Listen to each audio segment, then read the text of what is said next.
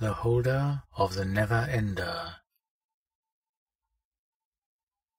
So you haven't stopped your foolish quest. Pitiful, but to be expected. It is your kind's nature to continue on at any cost, to pursue information while remaining terrifyingly ignorant as to its full ramifications. I know that I cannot stop you. Even if I could, still more would take your place. So I will instead tell you what you no doubt will find out later and through far worse means. Enter any bookstore within your city or town. When you walk through the door, the clerk standing at the desk will look at you with faint interest. You must ask to see the holder of the never-ender. He will be utterly powerless before you at that moment, compelled to wander into spaces which neither you nor he should rightfully know about.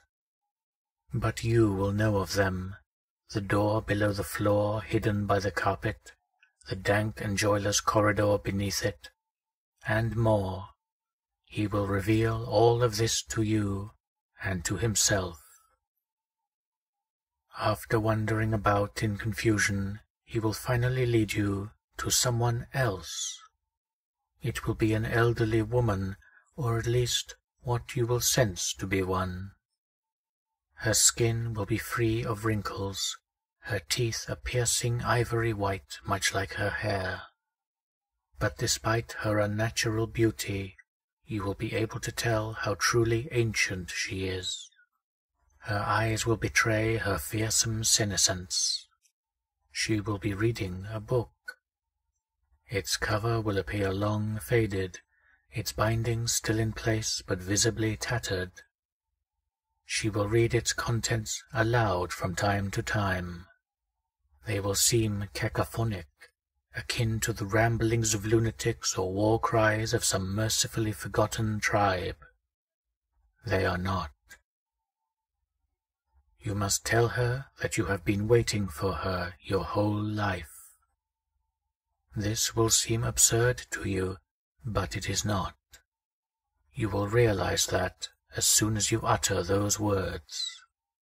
Upon your crushing realization, she will hand you a letter that seems even more yellowed and battered than the book's pages. You must ask the clerk to lead you back up immediately afterwards, or you too will become as she is. Should you read the letter, you will notice something. Despite its apparent dwarfishness, the space within it is infinite. True, there are words upon it. But those black dots, indelible as they may be, are but small grains of sand in a boundless ocean of white. It is object 111 of 538. It does not end, but in short time you will wish it did.